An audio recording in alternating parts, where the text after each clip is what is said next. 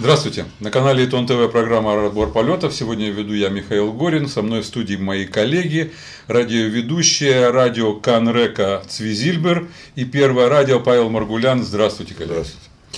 Ну что, можно говорить, что дело Нетаньягу продолжается и живет. Я, разумеется, имею в виду не дело Нетаньягу, а уголовные дела, в которых, правда, глава нашего правительства не фигурирует напрямую, но так или иначе упоминаются во многих делах, самых громких на сегодняшний день в Израиле.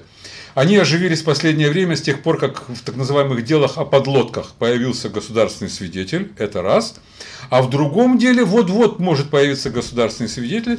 Речь идет о бывшем главе канцелярии премьер-министра Ариара, которого почему-то пресса стала называть министром финансов в кавычках, правда, семьи Нетаньягу. На ваш взгляд, э, вот э, кольцо вокруг э, нашего главы правительства сжимается, или это все как бы больше здесь пиара, чем реальности? Павел, пожалуйста. Ну, я считаю, что кольцо вокруг нашего главы правительства сжимается уже лет 20, и никак все не сожмется. И... Ну, все-таки такого не было наплыва. Такого какого? Вот такого, такого мощного ко- наплыва. Только количество. По качеству э, я оцениваю деятельность нашего премьера в этом плане, в уголовном контексте, скажем так, что это человек, который знает грань. И он по ней всегда ходит, и ни разу не было доказано, что он ее переходил, эту грань. И я думаю, что во всех делах, которые сегодня расследуют, будет примерно то же самое. Они максимум будут то, что называется пограничные. И все будет зависеть от э, тех людей, которые принимают решение подавать обвинительные заключения или не подавать обвинительные заключения. Я понимаю, что э, голодная пресса и общество ждет какого-то вот такого факта, который завтра докажет, что у Натаньягу там где-нибудь в Швейцарии огромный счет. Я думаю, что до этого дела не дойдет, и все это будет вот так вот взвешенно и зависеть будет от э, юридического советника правительства, от генерального инспектора полиции и генпрокурора. Ну, мнение. вот юридический советник, о котором упомянул Павел, буквально на днях э, высказался в отношении того, что он сказал, что дайте нам время разобраться в том, что происходит, и выявить правду. На ваших словах, э, по вашему мнению, это о чем говорит вот такое вот непонятное пограничное высказывание юридического советника правительства? Когда юридический советник правительства получил просьбу Виктора Либермана отложить расследование дела против некоторых э, активистов его партии до после выборов, юридический советник сказал, все готово, у нас все готово, мы в течение нескольких Это был недель, другой юридический советник. Мы в течение нескольких недель подадим уже обвинительное заключение, мы не можем, у нас все готово. И до сих пор что-то ничего не готово. Более того, Э, три недели назад где-то опять появилась информация, что все, юридический советник правительства принял решение, в течение двух недель будет подано обвинительное заключение против Стаса Мисяжникова и Фаина Киршенбаум. Где? То, что сказал юридический советник правительства, как и очень многие официальные лица в Израиле, хочет сказать, а, сказал, от Аргизукт. Ну, сказал, ну и вы говорите. Поэтому я всегда к этим расследованиям отношусь очень-очень осторожно. Помните, сколько было расследований против Ольмерта? Дом на улице Кремье, инвестиционный центр, и то, и то, и все, и пятое, Коллекция ручек? Просто каждый день э, говорили о каком-то новом расследовании против Ольмерта. И чем это все закончилось? Гора родила мышь. И то им в конце концов... Ну какая же гора родила мышь, если все-таки он оказался в тюрьме? Правда, не ну, за свою деятельность друг, на посту премьер-министра. А... В других странах управдомы берут больше, чем наш да, премьер-министр. Не Неважно, но по сравнению с тем, как это рисовалось, да, э, сопоставимо ли это по масштабам с таким актом, как досрочный уход премьер-министра, главы правительства в отставку из-за вот этого вот, да, ну, хорошо, пусть это серьезно, да, 60 тысяч шекелей, сколько там было, да? 60, да страшное дело. И то эти деньги были потрачены там на какие-то предвыборные нужды. Страшная коррупция, страшная. Нет, я не за коррупцию в любом виде, я не за коррупцию, но э, опять же, на фоне того шума и того тарарама, который э, производили средства массовой информации, э, можно сказать с полной уверенностью, что гора родила мышь. И то Это произошло только потому, что им удалось запугать и убедить Шулу Закин, чтобы она давала показания против Ольмерта. И многие обвинения уже пошли просто в догонку уже после того, как было решение суда, по которому Ольмерт был оправдан. Да? И многие решения пошли в догонку. То есть что касается сегодняшней ситуации с Нетаньяу, несомненно, есть интерес определенной прослойки, э, чтобы убрать Нетаньяу таким образом, потому что они понимают, что демократическим путем не получится, потому что, ну, не знаю, каждый раз публикуются новые и новые социологические исследования, которые говорят, что, ну, что поделать, Нетаньяу самый популярный в Израиле политик. И э, есть определенные силы в Израиле, которые об этом мечтают. И, естественно, они задействуют такой ресурс, как средства массовой информации. Я не хочу сказать, что они задействуют ресурс следственный, потому что мне самому хочется верить, что это не так, да, но иногда возникает ситуация, когда в это действительно э, хочется Понятно. поверить. Э, Павел, вот отталкиваясь от последних слов Цви, сегодня сторонники Натаньягу прямо заявляют, практически пользуясь той же терминологией, что вот есть некие интересанты, есть определенные силы, есть, как они говорят, левый истеблишмент. То есть никого, никто конкретно не называется. Ну вот такие вот формулировки все время идут, которые хотят утопить Бенемина Натаньягу, чтобы привести своего ставленника на пост главы правительства. Вот скажите, пожалуйста, и они, этим объясняется вот эта вот концентрация вот этих уголовных дел, очень громких, на поверхности, во всяком случае, очень громких, и их множе, много. Скажите, пожалуйста, вы верите в эти вот э, э, теории заговора? Считаете, что вы под ними есть какие-то основания, что это действительно все инспирировано? Э, я, в принципе, не верю в теории заговора. Э, в то, что есть в стране силы, которые хотят, чтобы Натаньягу ушел, это, естественно, оппозиция вся хочет, чтобы Натаньягу ушел, это, естественно, нормальный политический процесс, скажем так. Ну, я думаю, что Бенемин Натаньягу, когда был в оппозиции, тоже хотел, чтобы тоже ушел. хотел, чтобы ушел Ольмерт, и он об этом заявлял. А Натаньягу говорил, что из-за количества в точно такой же дел, ситуации. Э, глава правительства не может руководить страной, он должен уйти. Это слова Натаньягу. Да. Значит, и поэтому я вижу, вот к тому, что я сказал, что скажем так, по уголовной составляющей, то, что развивается против Натаньягу, Э, ему вряд ли грозит реальная опасность, но здесь есть другая составляющая. Если мы вернемся к делу Ольмерта, о котором сейчас э, Цви вспомнил, я напомню, что из-за чего э, Ольмерт ушел в отставку. Он ушел в отставку не из-за дел, которые у него были, а из-за ультиматума, который предъявила ему партия Вода, по-моему. Его же сторонники. Эуд Барак выступил и сказал, что если человек с таким количеством уголовных дел, которые находятся в расследовании, не может управлять страной, если он не уйдет с этого поста, то мы выйдем из правительства и развалим его он поставил ультиматум, что вынудило Ольмерта уйти в отставку. Если сегодня кто-нибудь, и я думаю, Натаньягу это понимает, у него есть э, минимум, наверное, два лидера партий, которые могут пойти на такой шаг. Я, я бы сказал, что это Кахлон, это, которые могут развалить правительство, потому что Либерман, если заявит, правительство останется, у него будет 61 голос. А вот Кахлон или Беннет, у Кахлона 10, у Беннета, по-моему, 8 мандатов, могут развалить правительство, если они решатся на такой шаг заявят, что э, нынешний глава правительства должен уйти в защиту, скажем так, заниматься своими уголовными делами, а не э, руководить страной. Но пока предпосылок к этому я не вижу ситуации. В остальном же уголовные дела, расслед... я напомню стадии. Значит, полиция, которая у нас иногда заявляет, что через две недели мы выдвинем обвинительное заключение, и эти две недели могут тянуться месяцами, неизвестно, Годами. сколько будет еще расследовать. Потом неизвестно, сколько это дело будет рассматривать юридический советник правительства. Если он рассматривает в пользу обвинительного заключения, неизвестно, сколько будет шимуа, то есть слушания да. адвокатов Натаньягу. И после этого слушания неизвестно, сколько будет все-таки принятие окончательного решения. Я думаю, что все, э, весь этот процесс продлится до ноября 2019 года, когда у нас должны быть следующие выборы.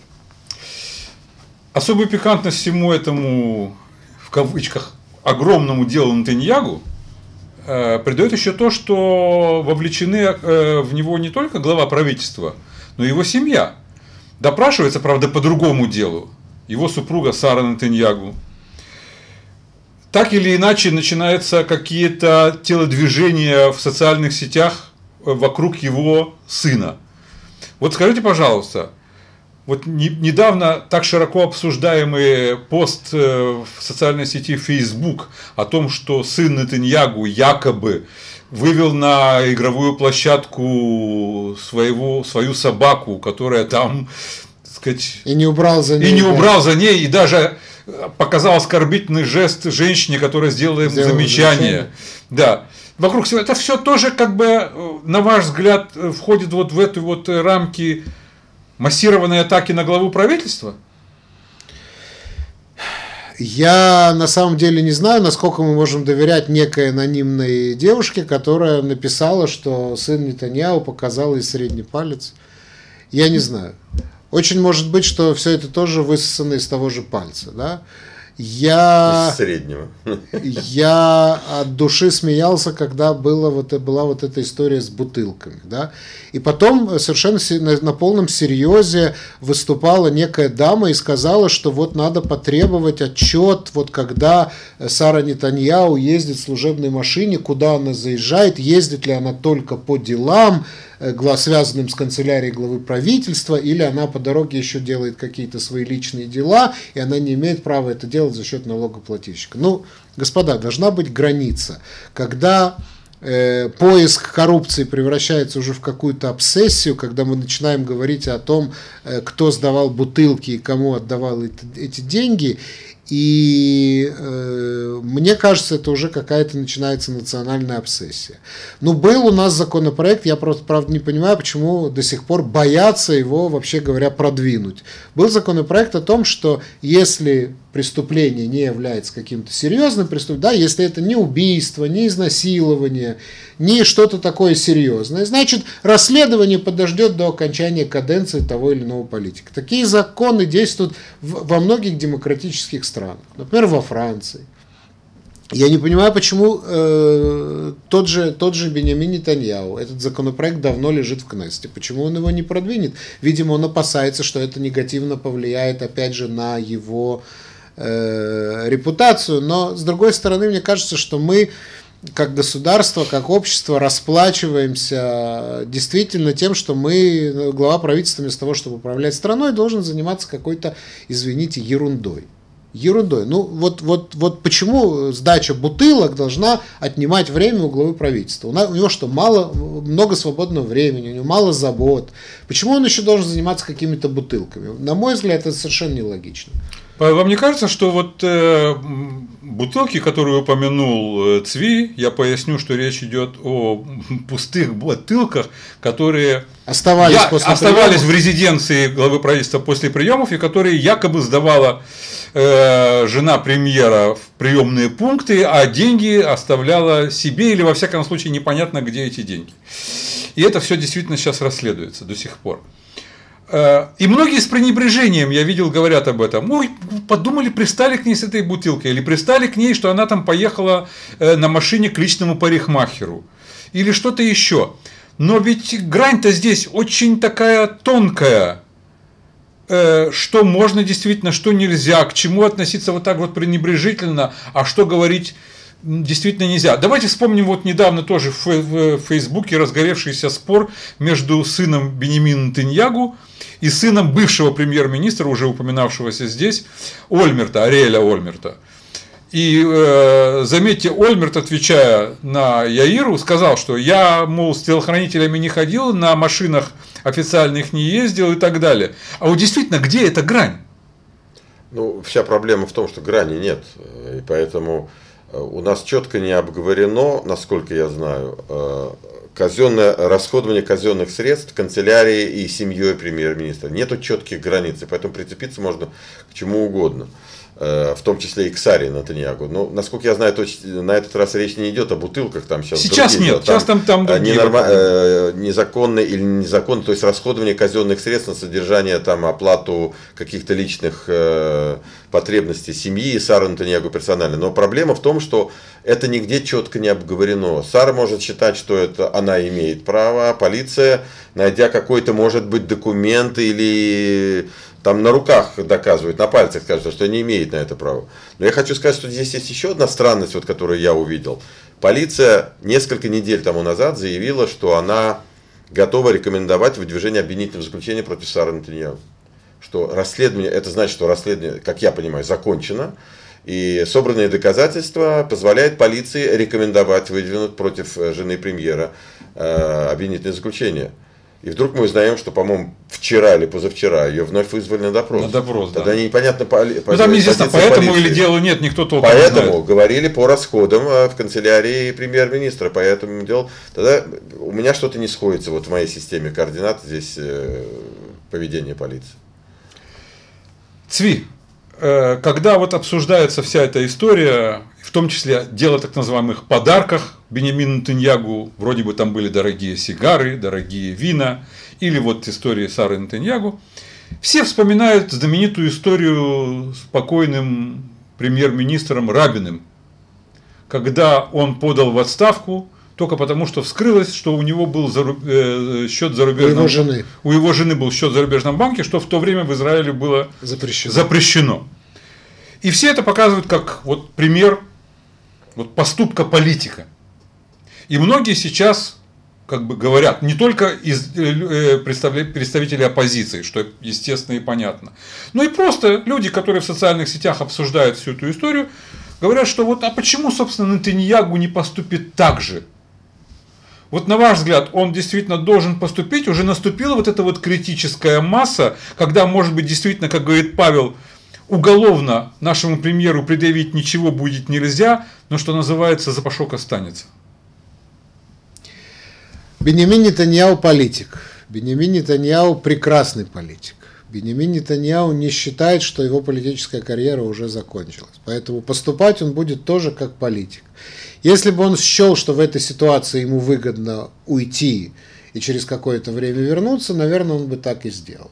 Но, видимо, у него прекрасный политический нюх. Он перед выборами не раз творил совершенно электоральные чудеса, и мы это видели не далее, как на прошлых выборах. Да? Бенjamin Нетаньяу в этом смысле прекрасный политик с прекрасным политическим чутьем, поэтому он сделает то, что ему выгодно и удобно как политику. Действительно, когда-то в Израиле были некие другие нормы морально-этические. Был, был у нас и министр, который пустил себе пулю просто потому, что его там в чем-то кто-то заподозрил. Да? Кстати, Рабин тоже, это же не было расследование. Это была журналистская это публикация. была журналистская публикация, после которой он сразу ушел в отставку, тем самым сразу признав свою вину. Да? Признав то, что там было опубликовано, это правда. Бенемин Нетаньяу, насколько я знаю, на данный момент ничего не, при, не признает. Он наоборот говорит, что ничего не было, ничего нет и ничего не будет. Куда же ему уходить? Павел, последний вопрос к вам. Здесь уже упоминалось, что несмотря на все эти потрясения, а, рейтинги Нетаньягу как политика, как главы партии, продолжают оставаться очень высокими. И у самой партии, и лично у Нетаньягу. На ваш взгляд, а, означает ли это, что наше общество готово простить ему вот эти вот мелкие недоразумения, назовем их так, и тем самым практически выдает индульгенцию на будущее? Или вообще, в принципе, общество считает, что важнее другое? Ну, судя по вопросам, общество считает, что важнее другое и готово простить Нетаньягу многое. Во всяком случае, у него довольно большая поддержка Э, ну, достаточно большая для того, чтобы партия Ликут, если пойдет на следующие выборы во главе Натаньягу, опять набрала наибольшее количество голосов. Последние опросы, я напомню, что несколько месяцев тому назад там был какой-то паритет равенства между партией и Ешатит, а последние опросы показывают, что Ликут опять вырвался вперед чем, то есть усиливается уголовное, скажем так, давление на Натаньягу, и вместе с тем растет его популярность. Ему тоже эта ситуация знакома, что а, вот это работает как бы, я не знаю даже как назвать эту ситуацию, в иврите это называется афух аляфух, да, то есть наоборот, наоборот, наоборот. наоборот. То есть казалось, Важно что наоборот. там а, качество и количество подозрений растущих э, должно уменьшать его популярность, а у него наоборот она увеличивается, ну, потому что э, давно это все. И на самом деле э, Натаньягу говорит, а в чем, где хоть какое-то подозрение в чем-то меня, все, что вы знаете, это вы знаете из прессы. Как настроена, это я сейчас принимаю на себя позицию Натаньягу, да. как настроена ко мне пресса, вы знаете. Прекрасно, да, агрессивно довольно, и что на основании этого я должен там заявлять э, какие-то, делать какие-то резкие шаги. Ничего не было, да, говорит он. И, кстати, вот по поводу моей той теории, насчет того, что эм, правительство может э, быть развалено из вне Ликуда, я назвал Беннета и Кахлона. Я вот сейчас вспомнил э, заявление Аэля Шакет, которое сделано буквально было, по-моему, сегодня или вчера, что министра даже юстиции, при, министра да. юстиции, что даже при предъявлении обвинительного заключения Натаньягу не обязан уходить в отставку. Это все зависит будет от тяжести обвинительного заключения. То есть, таким образом, со стороны Беннета такого ультимативного заявления Натаньягу вряд ли можно ожидать. Хотя Ну, он- это было не политическое заявление, это было э, э, заявление Министерства юстиции, которого попросили юридически обосновать возможную гипотетическую Я ситуацию. сомневаюсь, что любое заявление нашего крупного политика не несет в себе какую-то политическую Ну, составляющую. может быть. Да, пожалуйста, Цви, вы хотели что-то добавить, пожалуйста? Я хочу сказать, что э, наше общество, оно знает цену всем своим политикам. Наше общество знает и цену нашим средствам массовой информации. Помните вот этот подслушанный разговор Сары Нетаньяу и Дональда Трампа, когда она сказала, что нас пресса тоже ненавидит? Да. Это ее частное мнение, да. Но с другой стороны, когда все мы слышали запись, когда владелец концерна идет охранот, но не Мозес, обсуждает с главой правительства возможность э, увеличить количество позитивных публикаций, вот это, на мой взгляд, очень и очень серьезно. Это тоже коррупция. Я понимаю, что этот концерн частное предприятие, у которого есть хозяин. Но тем не менее, тем не менее. И э, я скажу в этом смысле, что э, возьмите идет охранот, возьмите Исраиль Айом, который вообще в открытую обслуживает интересы даже не партии Ликуда, а главы правительства Лично Беньямина Нетаньяху лично, да, на этом фоне наша русскоязычная пресса выглядит просто на порядок более объективней, чем наши израильские коллеги. И, Что даже обидно. ну почему, не, почему? Мне, например, не обидно. Я, например, считаю, что э, я, например, этим горжусь, да.